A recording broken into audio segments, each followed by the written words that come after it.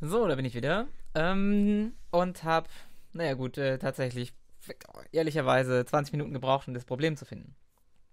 Aber wir hatten beim letzten Mal die Schwierigkeit, dass unsere Ameisen zwar optimiert, also wir, kurz zusammenzufassen, die letzte Folge, wir wollten die Wege, die die ähm, Ameisen von Ziel zu Ziel nehmen, optimieren, weil standardmäßig die halt im Zickzack laufen. Wir hatten aber ein paar Methoden implementiert, um das äh, ein bisschen zu umgehen, weil das Zickzacklaufen machen sie nur, wenn ich gehe zu Ziel verwende. Wenn ich aber mit Methoden wie gehe geradeaus oder gehe in Richtung oder drehe in Richtung arbeite, dann tun sie das nicht. Jetzt hatten wir natürlich beim letzten Mal, wie das so ist, wenn man live codet, äh, die eine oder andere Schwierigkeit. Das hat nämlich nicht ganz so funktioniert, wie ich es mir vorgestellt habe. Ich habe aber den Fehler inzwischen gefunden. Ähm, und zwar war das Problem, dass ich äh, hier Copy-Paste-Fehler natürlich wieder als ich hier gezeigt habe, dass es bestimmte Richtungen, bestimmte Entfernungen gibt, habe ich hier bestimmte Richtung einfach nach unten kopiert. Ich hatte also die bestimmte Richtung Methode genutzt, um die Distance zu messen. Was dazu geführt hat, dass die Ameise natürlich auf halbem Weg einfach stehen geblieben ist und umgedreht ist, weil sie ja den Zucker noch kennt und so weiter und so weiter. Ich habe es jetzt optimiert. Ich habe ähm, hier aus bestimmter Richtung bestimmte Entfernung gemacht. Dasselbe Problem hatte ich hier oben auch beim Tick, wo wir festgestellt haben, wie weit die Ameise noch vom Bau entfernt ist. Und jetzt funktioniert das auch mit der Sichtweite richtig. Ansonsten diese ganzen Unterscheidungen, ob das der Bau ist oder ob das irgendwas anderes ist, die waren alle nicht notwendig. Ich hatte hier alle nur reingemacht, weil ich äh, nicht sicher war, was das Problem ist. Alles gar kein Problem. Ich habe alles wieder rausgenommen. Ebenso rausgenommen habe ich diese komische Unterscheidung, die wir ganz oben gemacht haben. Hier wo wir noch geguckt haben, ob wir, nee, gar nicht wahr, äh, hier oben, wo wir noch geguckt haben, ob hier das Standardziel vielleicht null ist, aber das ist alles irrelevant. Hier ist nur wichtig, kenne ich einen Zucker oder nicht. Und alles andere funktioniert jetzt. Äh, kurz der Beweis dafür. Ich starte unsere Ameisen. Und die Pirameisen starten los. Ich mache das hier mal ein bisschen größer. Und so sieht es aus, wenn diese Ameisen tatsächlich ordentlich funktionieren. Und jetzt kann man auch schon sehr klar erkennen, dass es hier keineswegs um irgendeinen Zickzackpfad äh, sich handelt, sondern ja, dass die alle sehr, sehr, sehr, sehr gezielt auf das Ziel hinlaufen und auch wieder weg. Und das ist, glaube ich, so die effizienteste Art und Weise, wie man Zucker sammeln kann. Das Problem ist jetzt nur, dass äh, das so lange gut funktioniert, wie der Zuckerhügel da ist. Wenn der aber verschwindet, sieht man gleich, dass die Ameisen ähm, pfeilgerade und zwar genau in dieser Konstellation ins Nichts. Äh, okay, äh, normalerweise ins Nichts laufen. Äh, in dem Fall ist jetzt halt ein neuer Zucker aufgetaucht. Äh, der Zufallsgenerator des Spiels ist so mittelcool. Weshalb äh, das eigentlich trotz allem eine gute Strategie ist. Äh, vielleicht haben wir bei dem anderen Glück. mal gucken, was passiert. Nee, Simulation vorher zu Ende. Gut, ähm, der Zufallsgenerator sorgt trotzdem dafür, dass die Zuckerhügel aus irgendeinem Grund immer wieder an derselben Stelle auftauchen. Das ist natürlich ein bisschen dämlich, was diese ganze Argumentation mit dem Optimieren auf einen Weg angeht. Okay, aber so ist es nun mal. Ihr habt gerade gesehen, das kann unglaublich viel Zeit sparen. Diese Ameisen sind wesentlich effizienter als alles andere, was man an Pfadfindung so implementieren kann. Ähm, gut, ähm, völlig anderes Thema jetzt, weil ich habe äh, bei den Methoden ja gezeigt, dass es diese bestimmte Entfernung in bestimmte Richtung gibt. Also diese Koordinatenklasse, die ist super wichtig, wenn es darum geht, andere Dinge zu tun. Im Moment ist es so, dass wir die Ameisen dahin navigieren, wo der Zucker liegt. Also in dem Fall speichern wir ja in einer Variable diesen Zucker. Das äh, funktioniert aber nur mit Ameisen, die den Zucker selbstständig gefunden haben. So, das Langzeitziel sollte jetzt sein, die Information eines Zuckers an die anderen Ameisen zu leiten. Das kann man einerseits mit einer großen Markierung machen. Das ist äh, eine Möglichkeit und da in AndMe 1.6 die Markierungen noch alle riesig groß sein können, ist das auch so die gängige Methode, um das zu tun. Also in dem Moment, wo ich einen Zucker sehe, einfach eine riesig große Markierung zu machen, die über das komplette Spielfeld geht und alle Ameisen erreicht. Die würden dann sehr zielstrebig zu diesem Zuckerhügel hinfinden. In äh, der Folgeversion wird das aber nicht mehr funktionieren. Außerdem ähm, geht mir persönlich da ein bisschen diese, diese Programmierkunst verloren, weil das ist natürlich einfach ein Broadcast an alle. Hallo, hallo, hier ist Zucker und alle laufen zum Zentrum der Markierung. Viel spannender wäre jetzt, ähm, wenn mit Hilfe dieser Markierungen, sagen wir mal, Koordinateninformationen oder Informationen über diesen Zucker übertragen werden können. Deshalb gucken wir uns mal an, wie diese Markierungen grundsätzlich funktionieren. Das hatten wir ja schon im, in den ersten Folgen gemacht Wenn ich jetzt also zum Beispiel so einen Zucker sehe äh, und ihn mir nicht nur merken will, sondern einen Broadcast an alle schicken will, dann ist Sprühmarkierung normalerweise so ein bisschen das, das äh, Mittel zum Zweck. Und die Parameter, die ich hier verwenden kann, hatten wir schon mal angeschaut, ist Information. Das ist das, was ich nachher auch auslesen kann aus der Markierung. Oder noch zusätzlich eine Größe. Die Größe ist, äh, wie gesagt, äh, kann man ja mal gucken, da kann man eine irrsinnig große Zahl eintragen. 4000 ist ungefähr der Radius des Spiels oder der Durchmesser des Spielfeldes. Und äh, das ist durchaus legitim, das funktioniert. Und äh, sorgt für so einen großen. Ah, doch nicht, das ist dann die Maximalgröße. Es gibt eine Maximalgröße, aber die ist leider viel zu viel zu groß. Das ist äh, schon nicht mehr realistisch. Leider, leider. Da haben wir beim Optimieren ein bisschen geschlampt. So, jetzt haben wir hier so einen Flash, der aber auch schon groß genug ist. 1000 ist absolut groß genug, um fast alle Ameisen auf diesem Spielfeld zu erreichen. Also man könnte jetzt das Informationssystem so umbauen, dass alle Ameisen, die aktuell noch kein Ziel haben, das ist mal wieder wichtig, und jetzt müssen wir natürlich auch mit Ziel äh, Optimized arbeiten.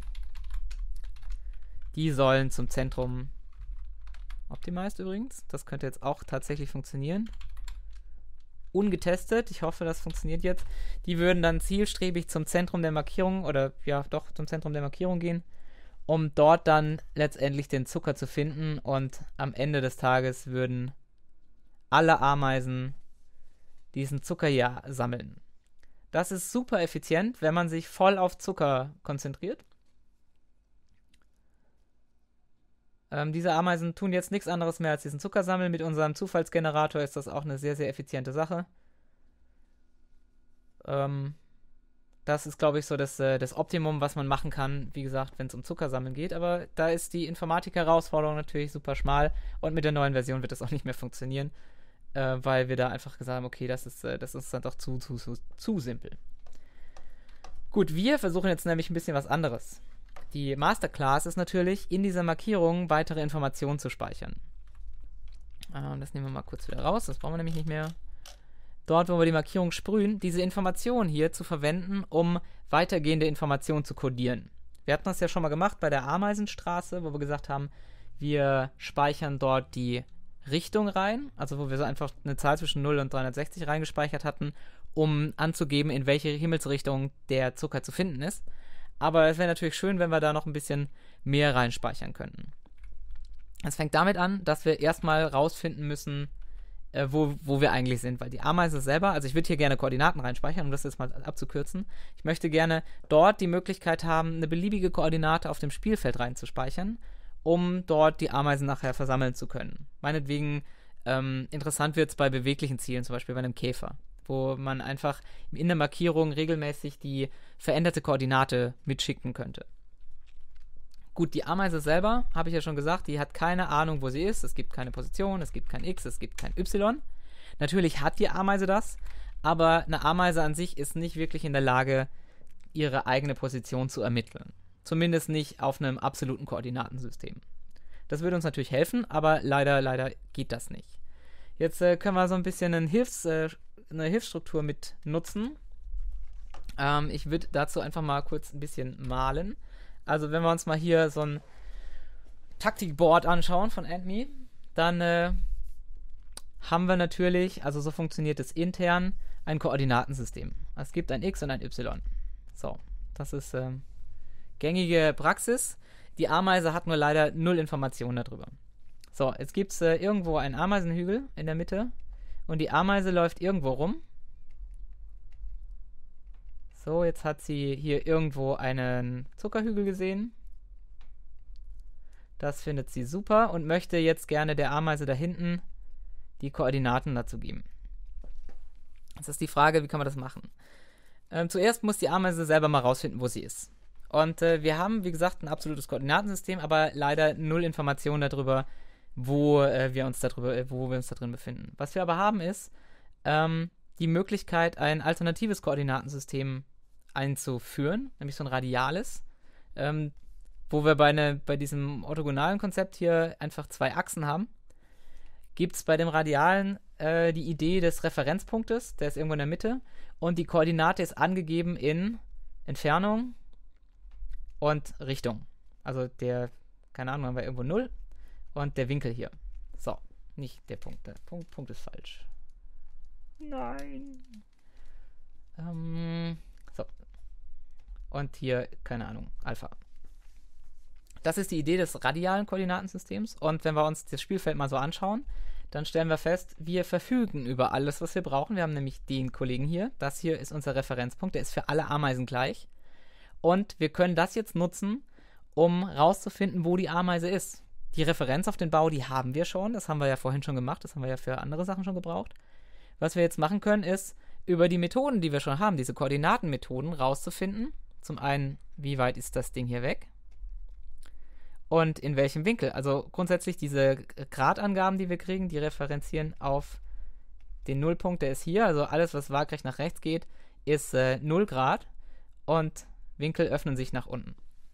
Also, wenn wir jetzt abfragen, in welche Richtung ähm, wir mit dieser Ameise, also wenn diese Ameise fragt, wo bin ich, dann kriegen wir diesen Alpha-Wert und kriegen die Entfernung hier.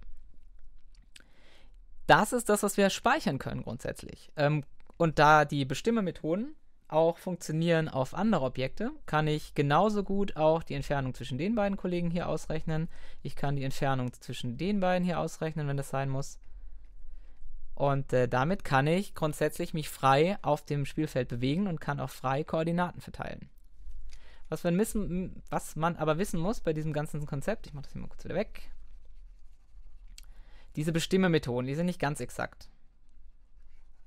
Ah. Die Bestimmermethode, ähm, ich male jetzt von oben, ähm, hat das Problem, ich brauche für dieses radiale Koordinatensystem die Entfernung vom Mittelpunkt des Referenzpunktes und dem Mittelpunkt der Ameise. Jetzt ist es aber so, dass ich hier einen Bau verwende und der Bau an sich einen kleinen Radius hat. Klein ist relativ, er ist ziemlich groß. Ich muss mal nachschauen, wie viel. Ich tippe mal auf 20 Schritte oder so.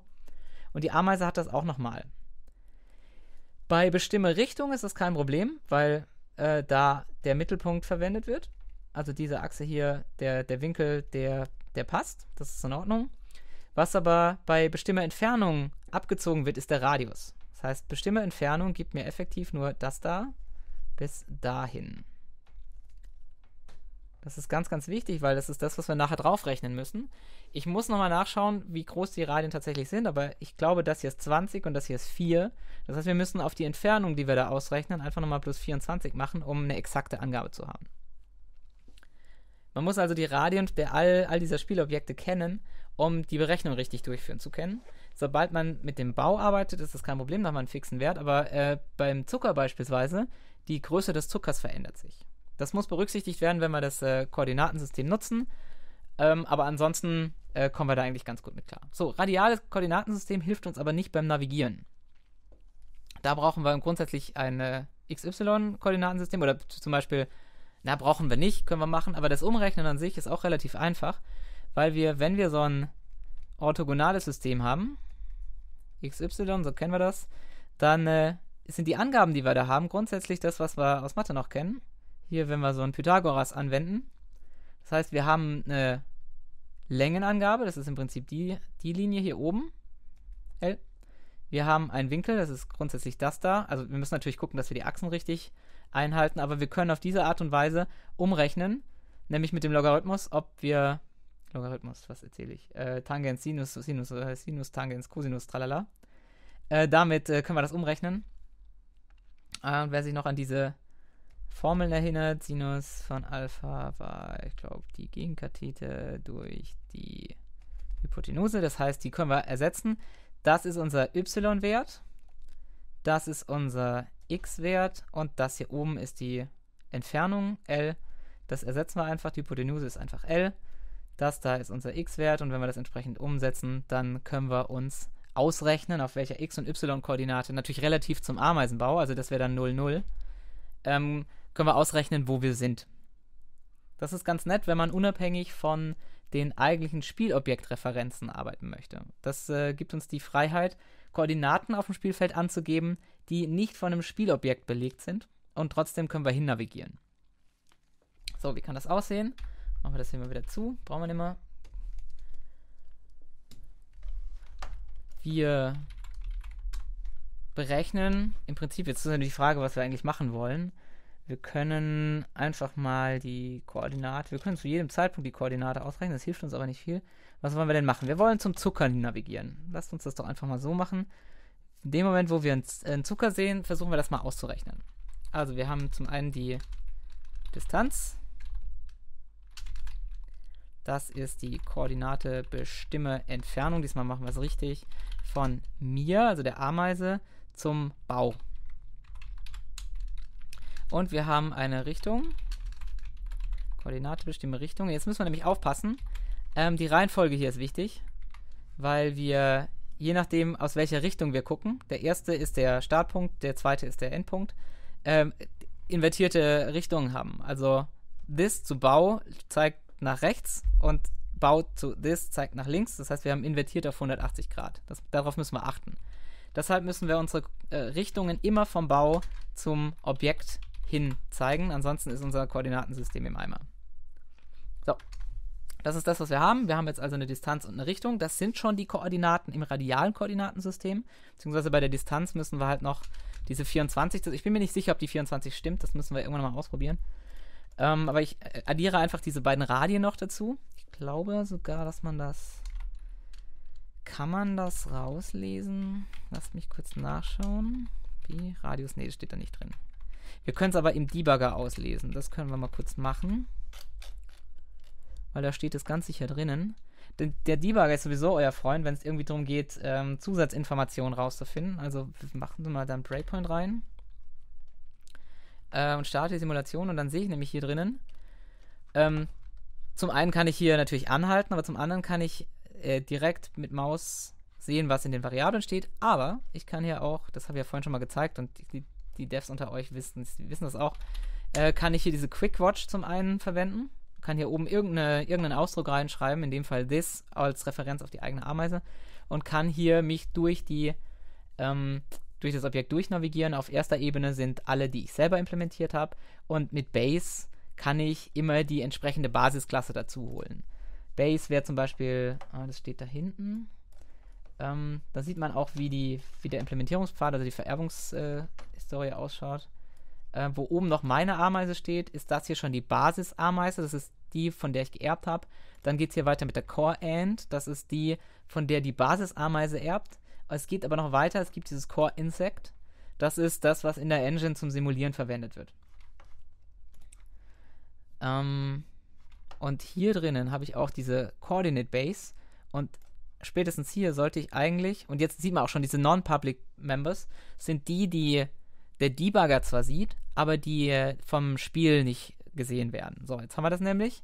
This ist äh, erbt also am Ende des Tages von einer Klasse, die heißt Core Coordinate und da stehen die ganzen Infos drin. Hier zum Beispiel XY-Koordinaten. Das ist das, was nachher rauskommen sollte, theoretisch, also relativ natürlich zum Ameisenbau. Die Koordinaten sind relativ zur linken oberen Ecke. Da steht die Richtung drin, die können wir tatsächlich auslesen. Hier steht aber auch der Radius drin. Und das ist jetzt spannend. Der Radius einer Ameise ist 2. Das sollten wir uns merken. Ähm, was wir außerdem auslesen können, ist ähm, der Ameisenbau. Das ähm, sollten wir aber erst machen, wenn der Bau auch gesetzt ist. Ähm, wir können ja durchsteppen. Oh, was außerdem vielleicht erwähnenswert ist, ist diese Watch hier unten. Ähm, in einem dieser Reiter sollte der Bereich Watch zur Verfügung stehen. Das sind die Variablen, die ihr, also grundsätzlich gibt es zwei. Es gibt Locals. Hier zeigt euch Visual Studio eigentlich immer die Sachen an, die im aktuellen Kontext interessant sind. Also wenn man das mal aufklappt, this ist immer interessant, weil da bin ich gerade. Ähm, ansonsten gibt es hier noch ein paar andere Geschichten, wie zum Beispiel die Variablen, die ich angelegt habe und äh, weitere Dinge. Also in dem Moment, wo ich in der Methode drinnen Dinge implementiert habe, also wenn ich hier eine Variable deklariert hätte, wäre die hier auch drinnen. Also es sind alles die Variablen, die aktuell in diesem Kontext interessant sind. Und bei Watch kann ich die Dinger selber definieren. Also wenn ich feststelle, ich brauche eigentlich ständig die Variable, pff, keine Ahnung, this, können wir ja mal versuchen. Um, ähm, this as, uh, wie hieß es denn? Core, Coordinate, ach, vergessen wie es heißt. Core, and me simulation core coordinate da ist sie core coordinate dann casten wir unser this nach da und kriegen äh, core coordinate war es aber doch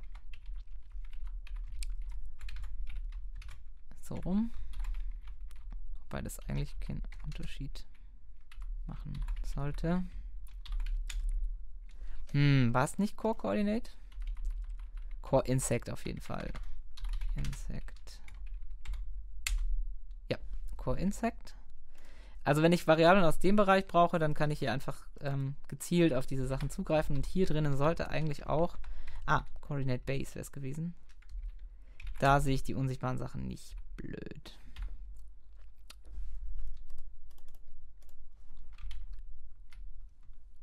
Coordinate Base. Hm, naja, wie auch immer. Äh, hier unten kann ich Variablen eintragen, für die ich regelmäßig Infos haben will. In meinem Fall habe ich jetzt hier schon mal Ziel eingetragen und Ziel optimized. Das hatte ich vorhin gebraucht, als ich den Gram debuggen wollte. Ähm, aber hier kann man natürlich auch noch zusätzliche Sachen eintragen. Gut, äh, was wollte ich noch ausfinden, bevor ich einen Cut mache? Ich wollte rausfinden, wie groß der Radius des Baus ist noch. Das finden wir noch schnell raus. Das machen wir wieder über die Quickwatch. Base, Base Non-Public, la la la. Und auch der erbt irgendwann von Coordinate Base. Und hier gibt es auch einen Radius. Oh, der ist sogar wesentlich größer, als ich dachte. Ähm, 2048. Das Problem an dieser Information ist jetzt aber, dass das ähm, Core-Informationen sind und äh, der Core in einem anderen ähm, in einem anderen Maßstab arbeitet. Fragt mich jetzt aber bitte nicht, wie man das umrechnet. Ah, das war ein bisschen dämlich. Das heißt, wir können mit dieser Information eigentlich gar nichts anfangen. Habe ich hier alles richtig? Ich glaube, irgendwo kann man auch diese Radius. Irgendwo stehen auch der andere Radius drin. Das ist auch der. Manchmal sucht man einfach ein bisschen. Also ich könnte natürlich jetzt im Source Code nachschauen. Allerdings ist ja, ähm, sind ja das Informationen, die, obwohl der Source Code, dann könnt ihr euch theoretisch auch runterladen. Ähm, aber dennoch sollte das mit diesen Informationen hier funktionieren. Ach Mist, ich finde das gerade nicht. Ich werde das irgendwann mal im Source Code nachschauen. Ich glaube, wir haben nochmal einen Faktor von, ich, ich weiß es nicht mehr, 50 oder so, mit dem das multipliziert wird. Ist ja auch wurscht.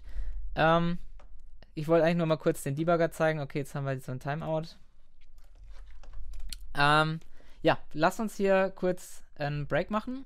Äh, neue Folge kommt dann und dann bauen wir alles in dieses Koordinatensystem.